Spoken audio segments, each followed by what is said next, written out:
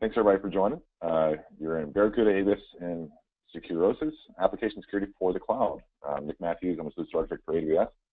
Uh, before we get started, just a couple of housekeeping notes. Uh, one is when you joined, you had the option to come in over audio or over uh, your phone. You can switch that in your, your panel there on the right.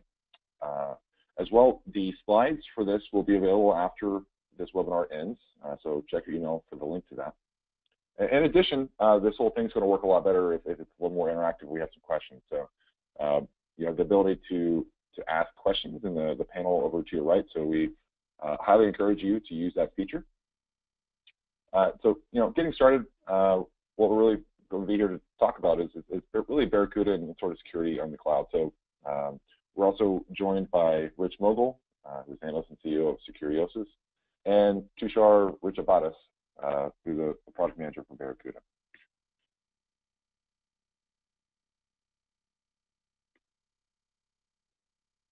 All right.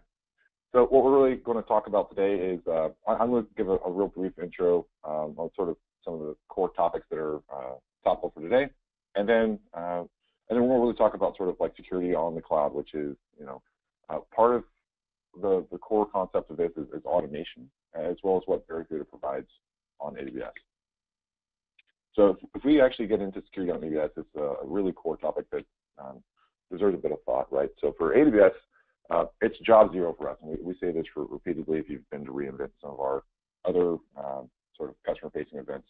Uh, but I mean, it's you know, it's one of our customers' biggest concerns, uh, and so we spend an enormous amount of time and effort on this. Um, it, it's what we really, really focus on, and there is nothing that that is secondary to security for us.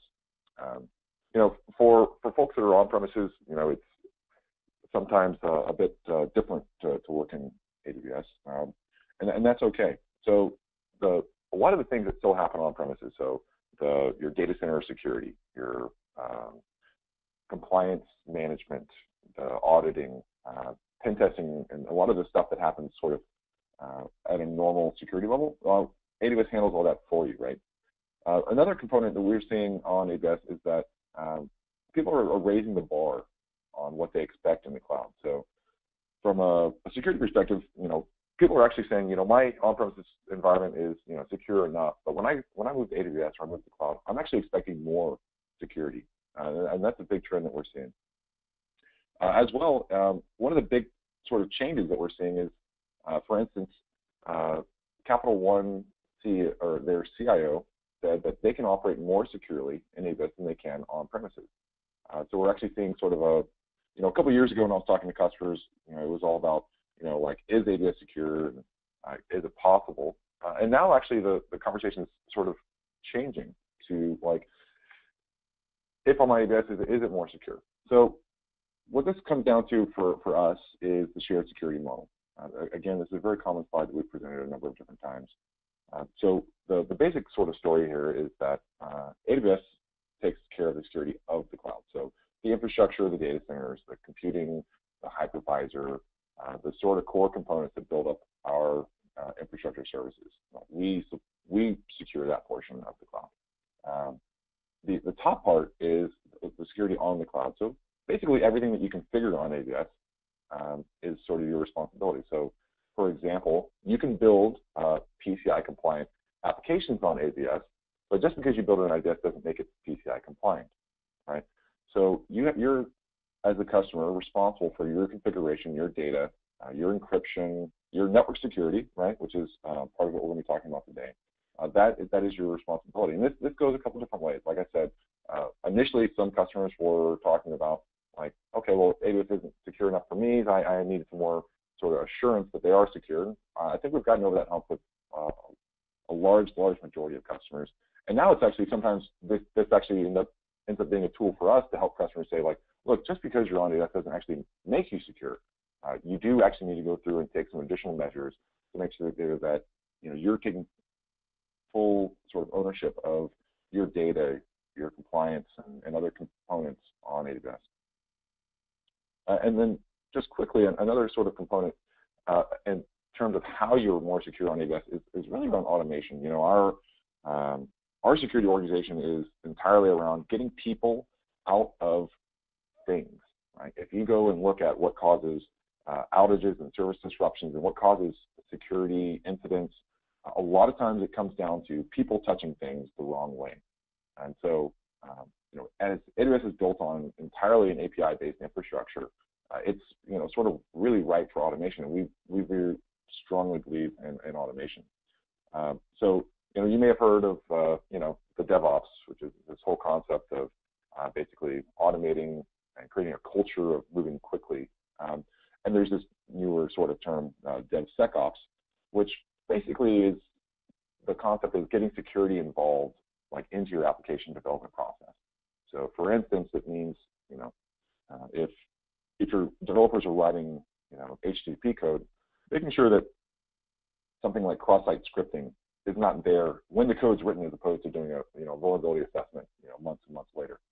So it's it's it's a very important concept for AWS because as you bring your resources onto AWS, you want to make sure that you're using the same product, but sometimes that creates operational challenges. So you want to make sure that you're automating, you're keeping it with the pace of AWS because one of the, the primary benefits is the pace of innovation and the automation that you can do. So uh, I think this is really important, and we've got Rich here um, who can sort of expand on this a little further.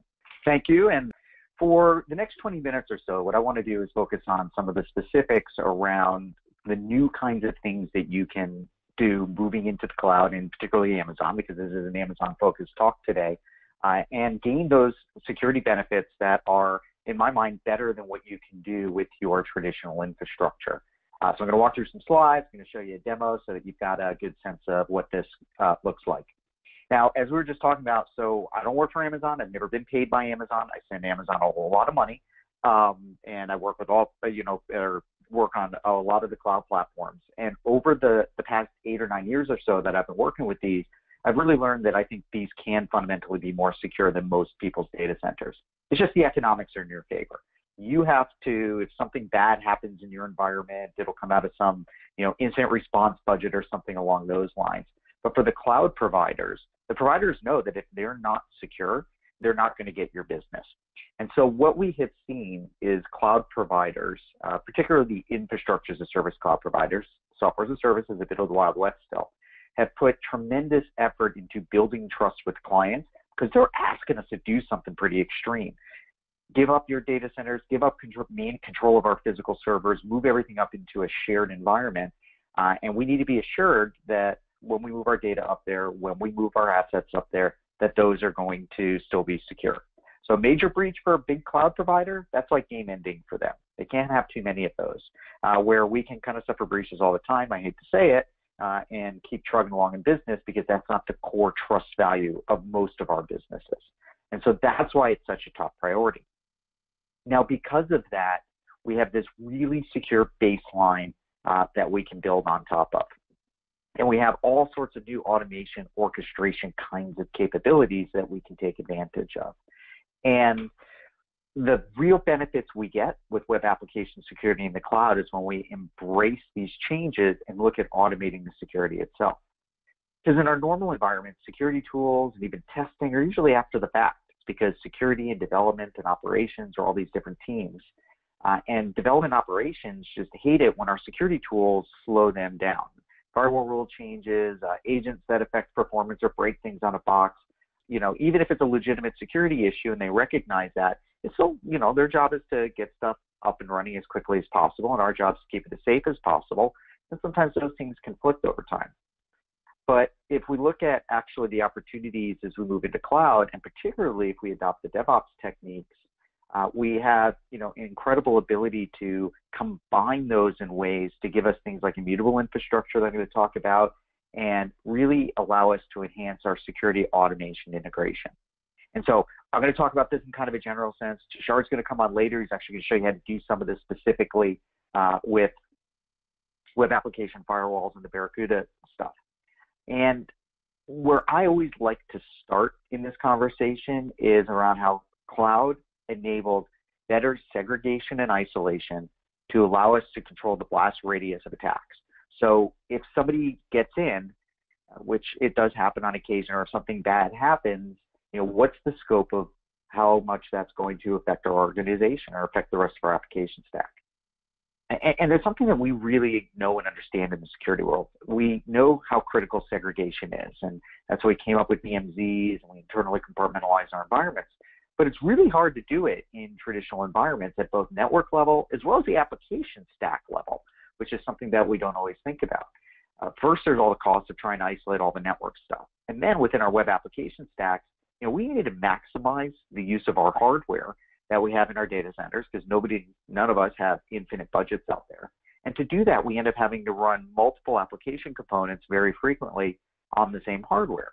So if somebody gets into a box, you know, they first they can move up and down the application stack on that box, and then they can move, you know, left and right, north, south, east, west, all through our environment on the network pieces of it. But this isn't actually true for cloud. We, at least if you adopt cloud properly, because what we can do in cloud is we have a tremendous ability to limit the blast radius. First, it's by default on the network. We have these things called security groups. Every single server, every single instance, for example, that we run in Amazon is protected against every other instance. I mean, every other instance. Like, even if they're in the same security group and the same subnet, they still can't talk to each other unless you open up rules. We have all this default deny stuff going on. What if somebody does compromise the whole network, which is like you would have to make tons of mistakes for something like that to happen? Well, even if they do that, they can't get to the next virtual network. When you're using Amazon, you don't pay money for virtual networks.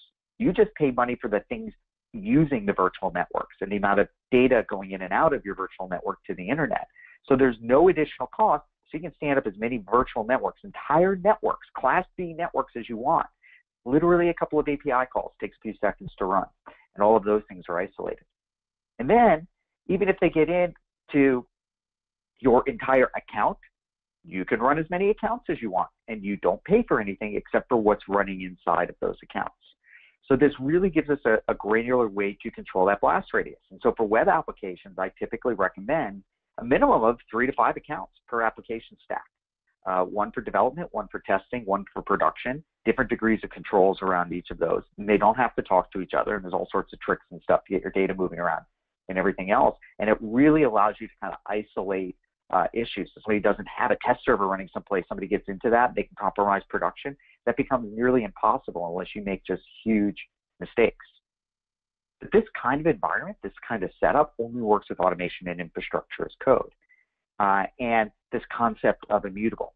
And what do we mean by that? Well, the idea is if we define all of our infrastructure as code and our application stack as code and our servers as code or our instances, uh, we have the ability to use automation tools to update those or completely replace them as we need to. And what that means is everything's defined, everything's in templates, everything's in these files. And it runs through the automation process so that your production environments always look exactly as you have defined in that code, in those, uh, in those descriptions. And again, it's super powerful. We use continuous integration tools to do this. Uh, it gives us this super powerful ability to be able to be what I like to use the word deterministic. I can define my environment, and now I have a way of enforcing that my environment meets the definitions. So a little bit of how this works. We have on the left side of the slide here, you have your source code in a version control repository, so that's your application code. We have our CloudFormation templates. That defines the actual infrastructure stack in Amazon, your virtual networks, your instances, your identity management, uh, the, all the other pieces that you might be using, your load balancers within Amazon. That's actually a text file. I'm going to show you one in a moment. Uh, and then we have our server definitions. In this case, it's Chef. It could be Puppet, Ansible, SaltStack, whichever tool you want to use. And it's another text file that describes the configuration of all those instances. Or if you're using containers, you would use a Docker file in that case. All of that's in a version control repository. And if you make a change to those, Jenkins, in this case, is our continuous integration server, that detects that change, spins up, if needed, an entire new testing environment, runs a suite of automated tests, and if it passes those tests, it might hand it off for manual acceptance testing or review, uh, or it might automatically push it into production. It's your call on how you want to go ahead and do that.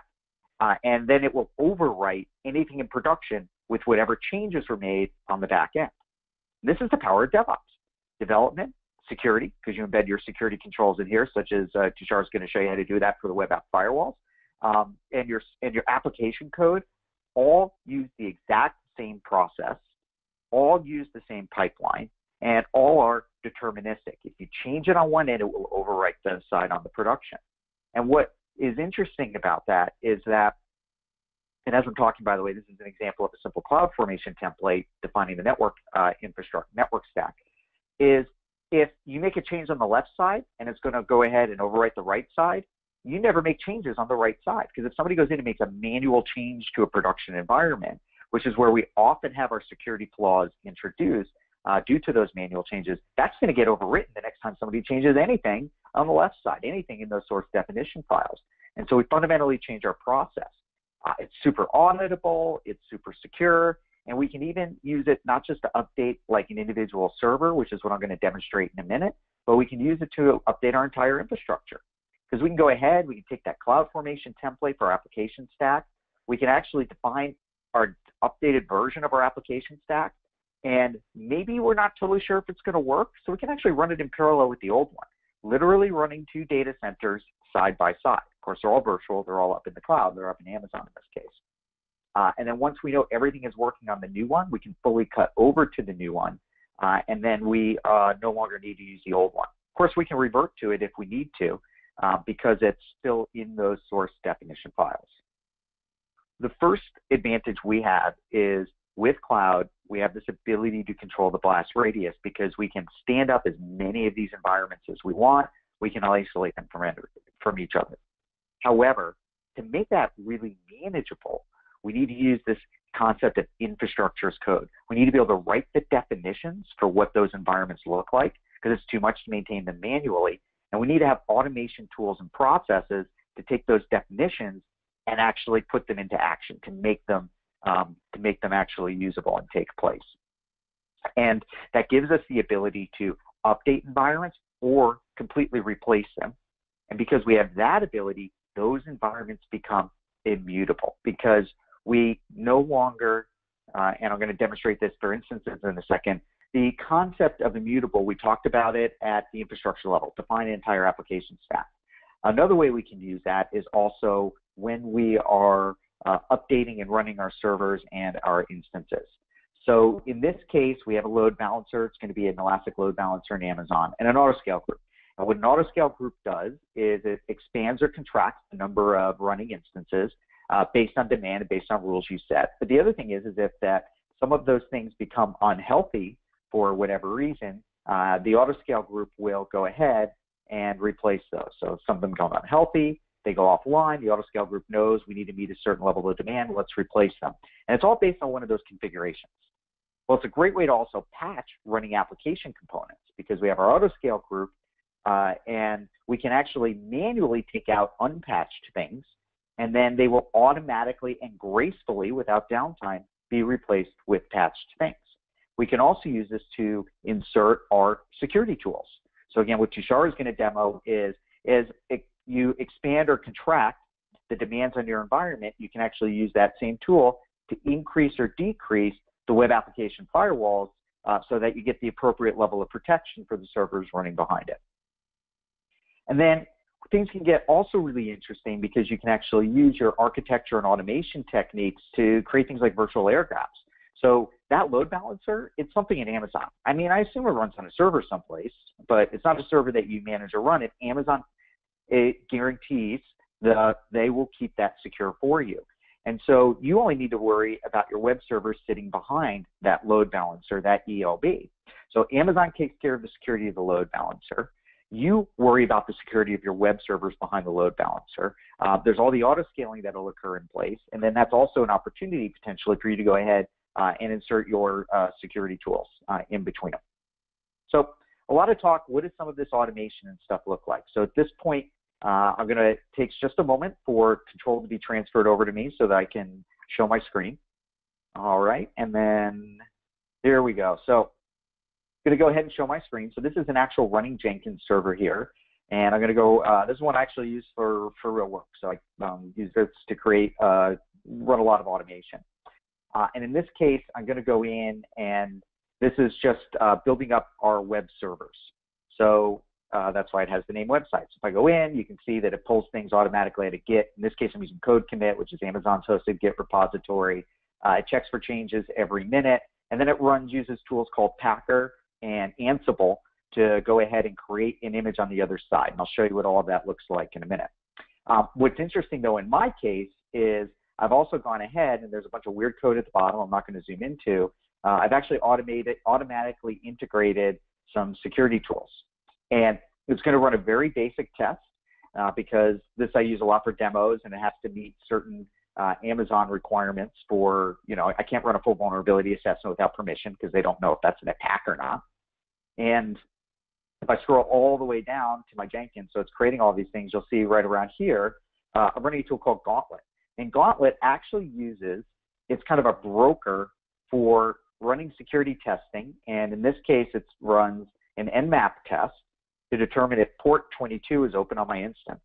Remember, immutable, there's no reason to go ahead and log into an instance because it's just going to be overwritten by the autoscale group. So I might disable remote access so that nobody can log into that anyway. Uh, and it's an incredible security capability that we get for our application stack.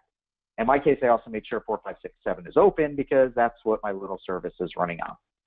So how quickly can this run and kind of do the rolling updates?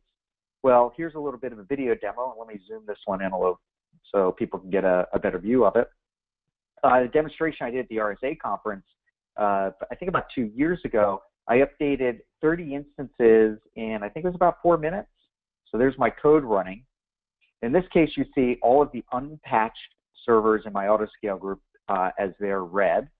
And I'm going to fast forward a little bit for time's sake.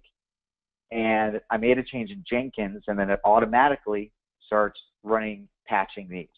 So it was about 30 instances, and it took about seven minutes for all of these instances to go ahead and run. And that's actually, this video is the older version of my code.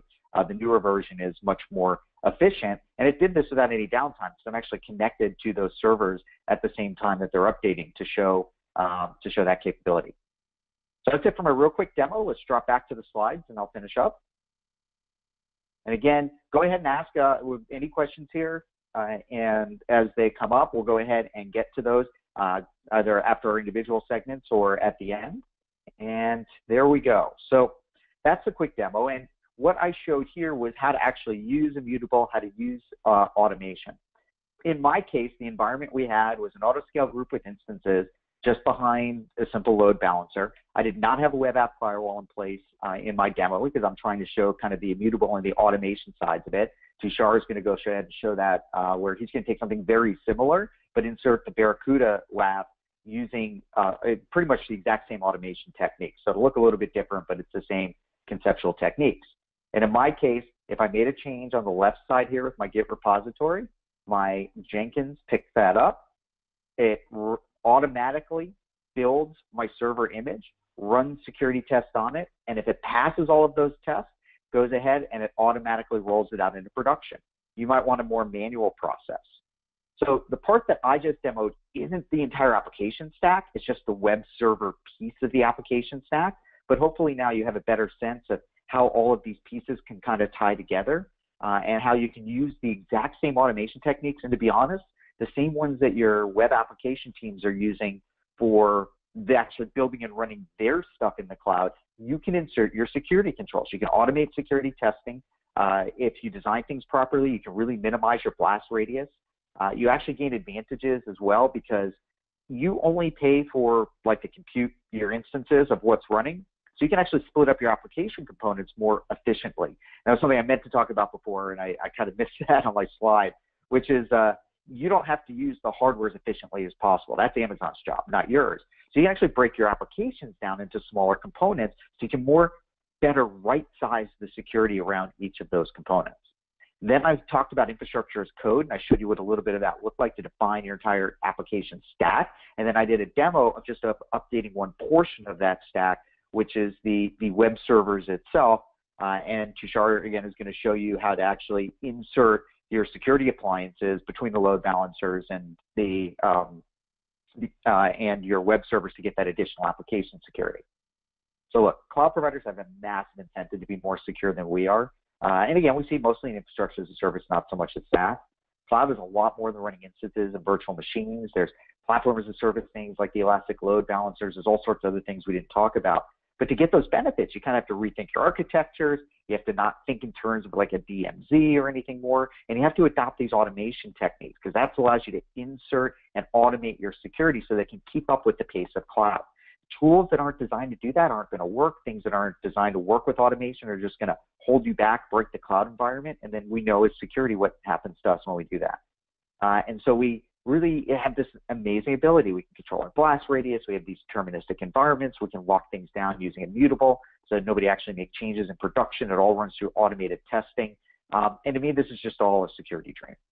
So uh, that's the end of my section. At this point, I'm going to hand it over to Tushar uh, from Barracuda. He's going to show the pieces of it that I didn't show, which is actually updating other parts of the infrastructure. All right. Thank you, Rich. Uh, hello, folks. My name is Tushar. Uh, I'm the PM for the Barracuda WAF in the public cloud. Now, uh, talk is very interesting to us at Barracuda, and especially to me because this ties in quite a bit to what we hear from our customers, what we see from analysts in the field, and more. So if you look at our current CI/CD environments, you see that app security and app delivery are now closer to the applications than ever before. You deploy them right next to the applications. They are more application specific. They are not abstracted away from the application somewhere else. But typically, when you see that these two parts actually block the move from uh, a manual deployment to a continuous deployment uh, by needing manual uh, intervention, is something we've seen Gartner talk about also. They talk about how only 20% of DevOps shops have fully automated and moved to DevSecOps.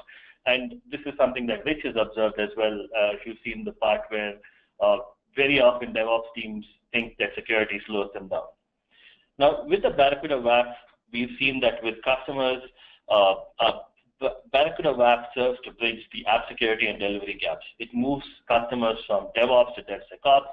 It fits very closely in a continuous deployment model, where if you want to do something like what Rich demonstrated about upgrading your uh, applications and performing a canary rollout, you can do that very easily with the Barracuda WAF. Uh, we'll now see a quick demo um, with uh, the Barracuda WAF, how we deploy it with a CloudFormation template, how it integrates very closely with your application, and followed by a real-world use case about how this automation works and solves problems for customers. Uh, we'll now see the video. All right. So this is the pay-as-you-go page of the WAF on AWS. You can deploy from here either as a single AMI or an auto-scaling cluster. Uh, when you go down to the CloudFormation template and click View, you can see an entire topology of how the WAF gets deployed. And uh, also it shows you the actual CloudFormation template to download. Now, the topology has the WAF in an auto-scaling group between two ELBs. Uh, this is called an ELB sandwich deployment. Uh, this enables maximum flexibility because this means that your application can auto-scale independently of the Barracuda WAF. Uh, each app you can have multiple apps behind multiple load balancers. You can have uh, one deployment behind one load balancer and the same app with an upgraded deployment behind the other load balancer. Now, when you download the CloudFormation stack, it's quite simple to use it. You can use it either via the CloudFormation console, as I will show you now, or using any kind of automation, automation methodology uh, or toolchain. Now, we'll just see this with the CloudFormation uh, console. Uh, we've made the template as easy to use as possible. Uh, this uh, template will insert the Barracuda WAF into an existing VPC between an ELB sandwich, one external ELB that drives traffic to the WAF, and the other which drives traffic from the WAF to the actual application. The ELB that is being uh, configured now is the external ELB, uh, which will actually uh, load balance traffic between the various uh, uh, WAFs as they auto scale. Um, these are some standard inputs, and now you see the service configuration. The service configuration on the WAF uh, essentially means the application on the WAF as it is configured. You give it a standard service name, decide the port on which it will receive traffic, and you can specify either a server IP if you have a single server in your test setup, or an FQDN. the FQDN can be the ELB's FQDN. We will continually resolve the ELB's IP and distribute traffic across the applications. Uh, with this, you can create the server port, which is typically port 80, and next. A standard tag, which we create to ensure the resources are toned down. And this is a quick review of uh, all that we created. You will see that we request an IAM role. Uh, the IAM role, I'm going a little too fast, but this is a quick review of all the resources we are using. Uh, and an IAM role that we create to control access to a specific S3 bucket. This S3 bucket contains some deployment specific information that allows the WAF to auto scale and cluster with each other. Now that we hit now we hit create. Uh, it takes a little while to create the stack. We'll fast forward through that, and we'll take a look at some of the resources that this would create. We have to start with uh, the alarms that allow the WAF uh, autoscale group to scale up and scale scale down. Then we have the actual autoscale group and the launch config.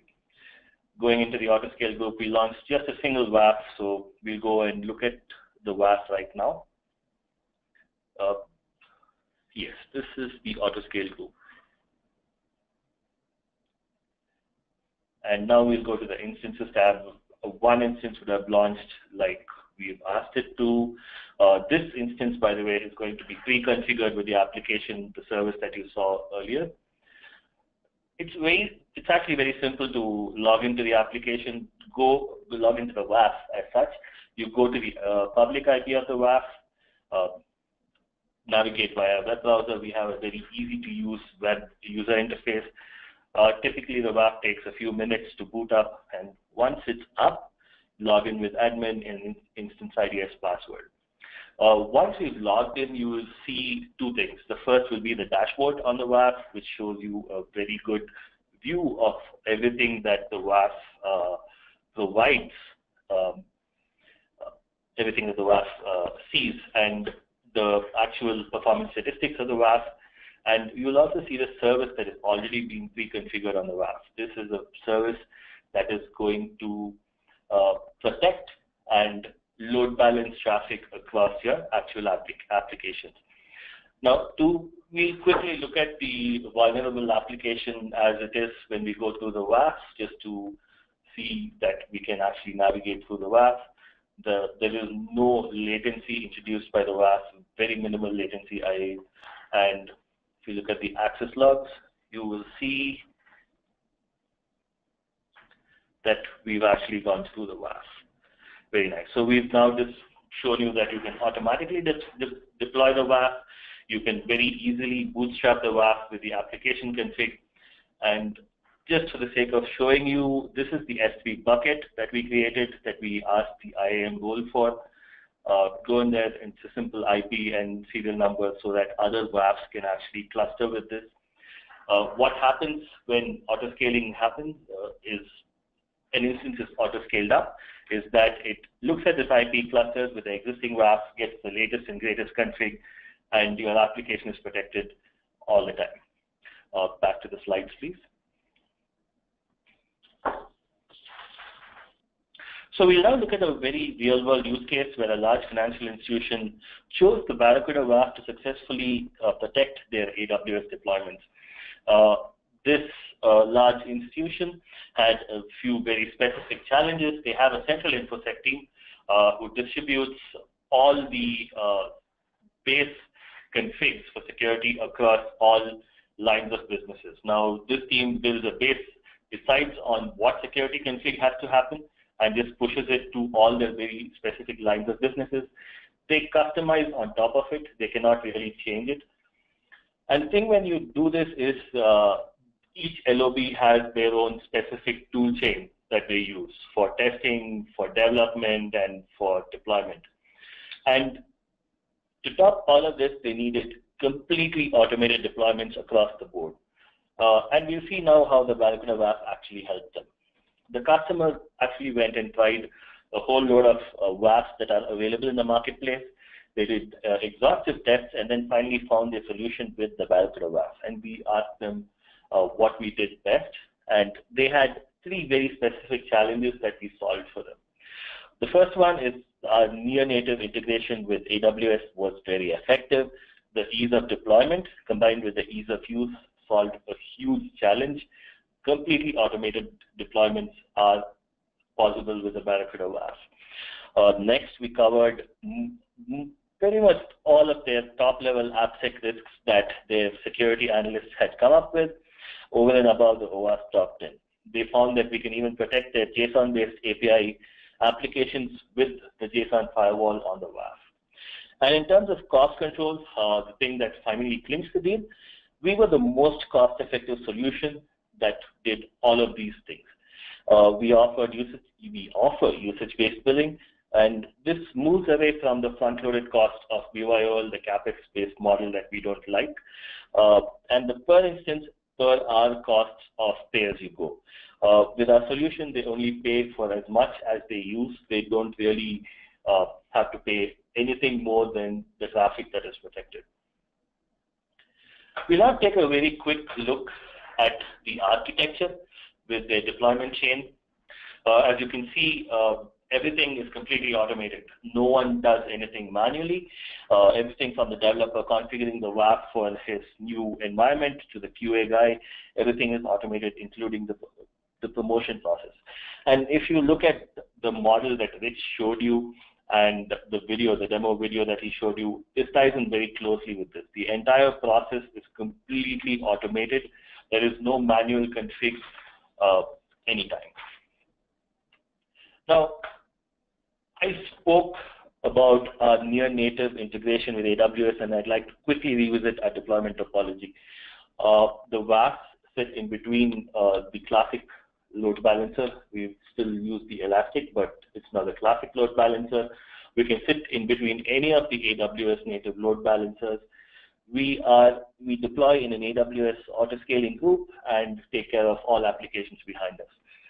Now, the Barracuda WAF has the AWS Security Competency Certification, and this is the Amazon uh, security architects telling you that we integrate very closely with their platform and solve three very specific things.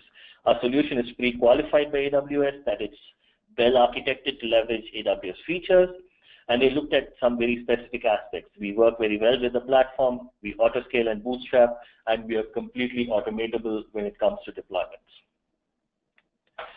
Now, when our customers buy the WAF, uh, and this may answer some questions that have come up already, uh, the, they get a complete application security and delivery platform. The WAF itself delivers complete protection against web, mobile, and API-based application attacks.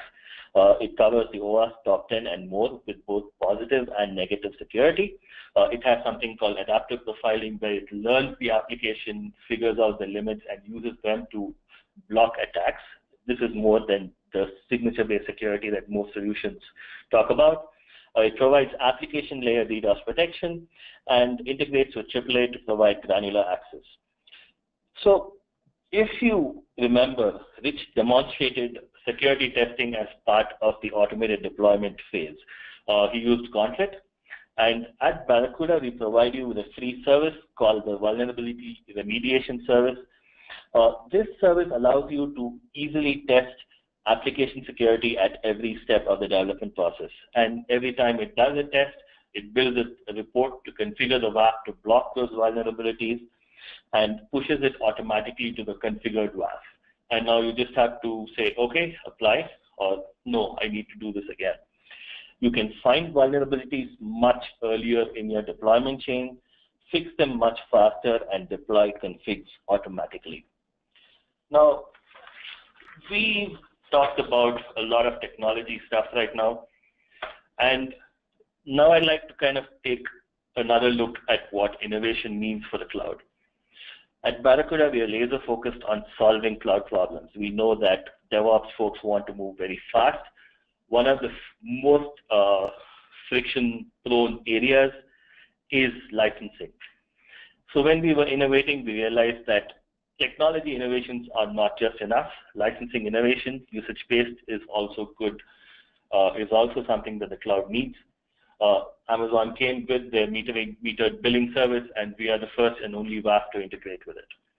Why metered billing? It takes away the friction of bring your own license. You don't have to talk to a sales team, get a get a quote, go to your finance guys, get a budget approved, and then buy, figure things out after that. You don't need to worry about per instance costs of pay-as-you-go. Even when you go to pay-as-you-go, you pay per instance per hour, which means that you may end up deploying a central VPC with security and uh, keeping it very far away from the application.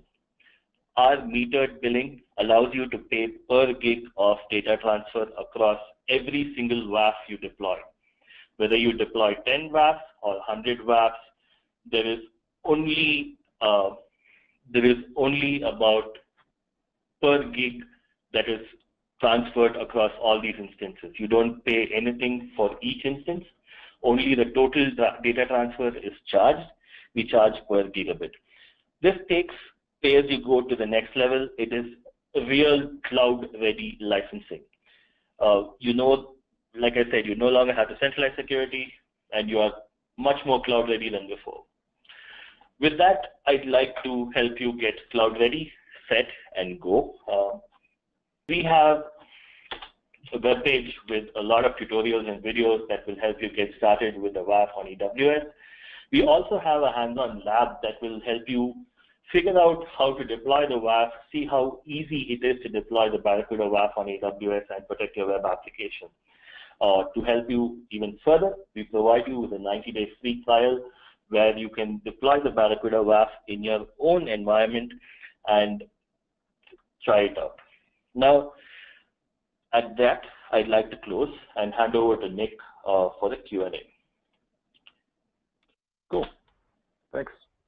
So uh, yeah, if you guys have questions about the the WAF uh, security on AWS, uh, maybe what the deployment looks like, or sort of any, any of the questions around uh, common sort of customer scenarios, um, put them in the chat. We'll we'll start going through those. Uh, we've got a couple questions in already. So uh, Tushar, I think this is fine for you. But what additional functionality does the Barracuda WAF provide over the AWS WAF that's native? So the native AWS WAF is a very nice WAF, but the Barracuda WAF is a complete application security and delivery solution.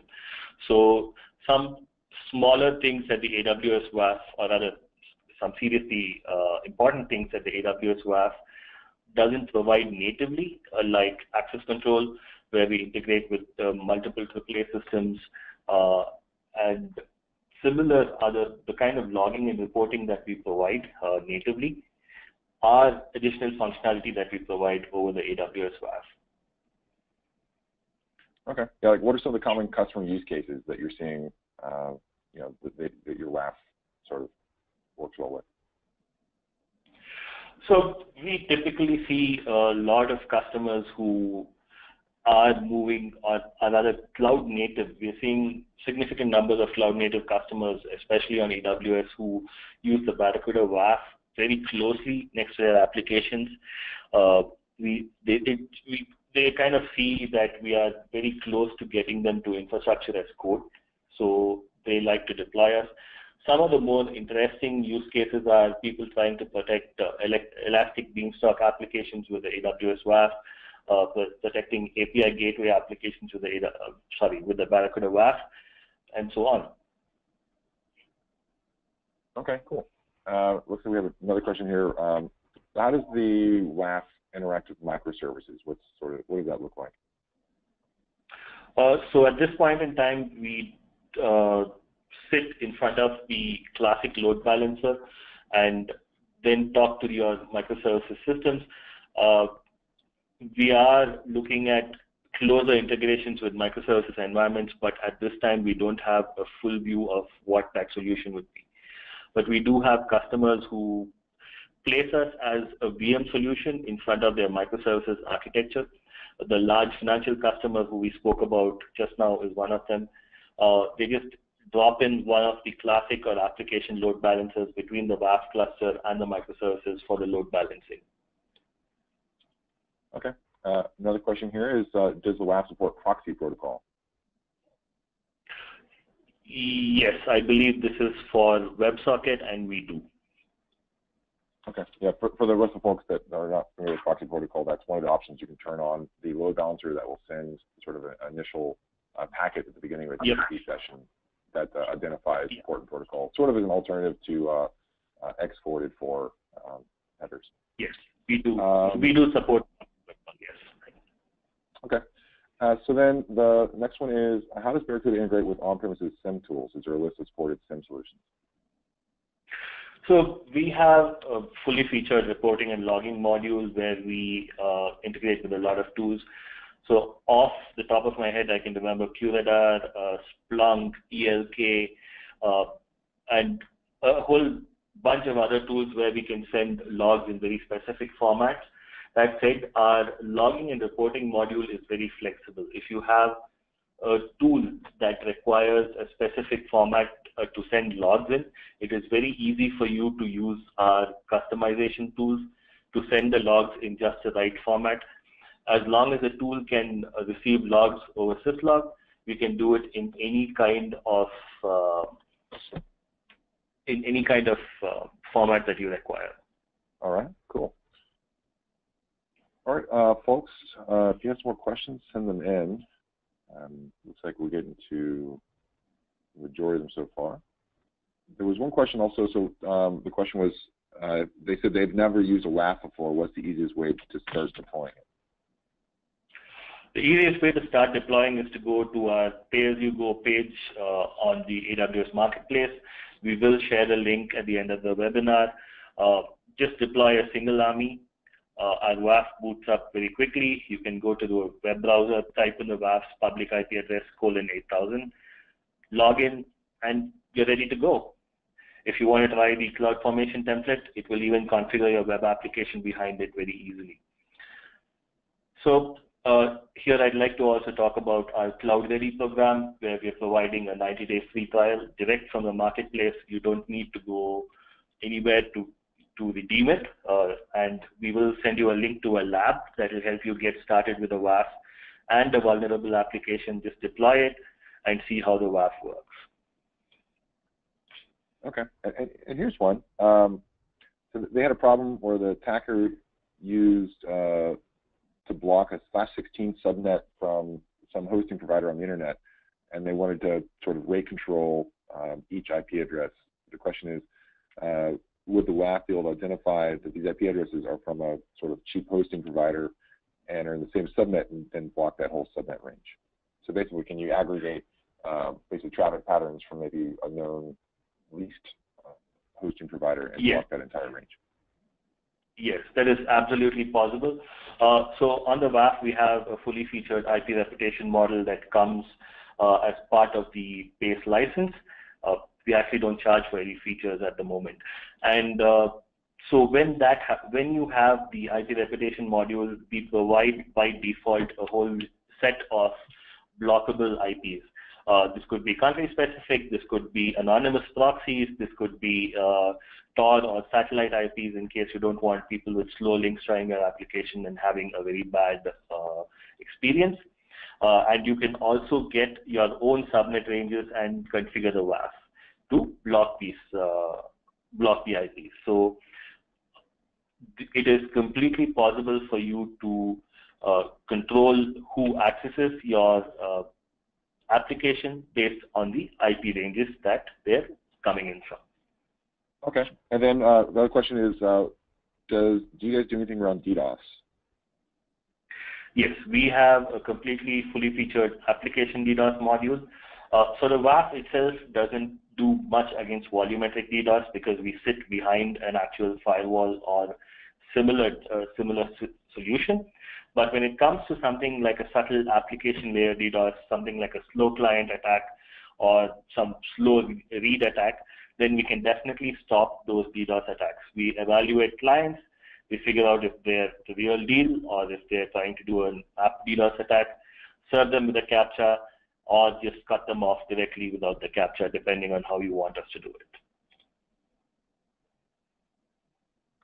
All right, cool. Um, so there's another question here um, about databases. do you guys do any sort of database security? So we don't directly uh, interact with databases for database security.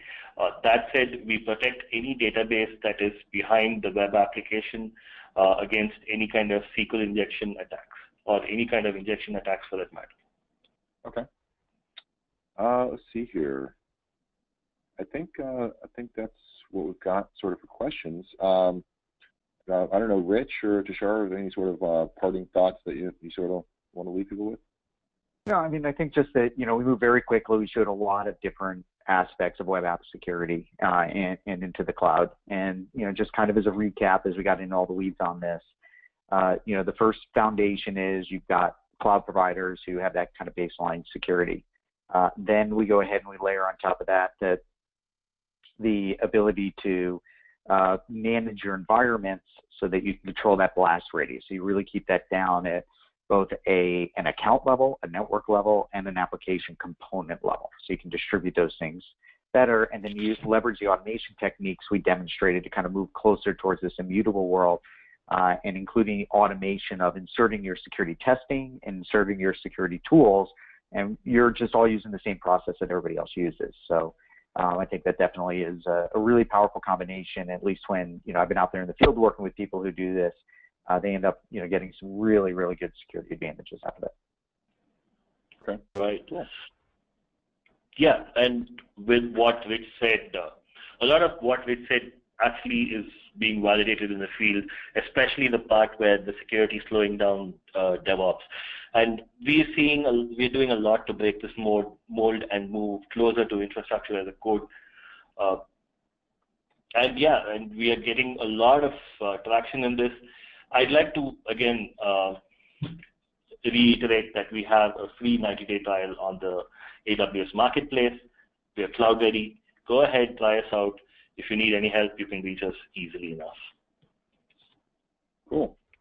All right. Well, everyone, uh, thanks for joining. Um, appreciate the time. I understand uh, busy day. Thanks for joining. Thanks, folks. Have a nice day. Thank you.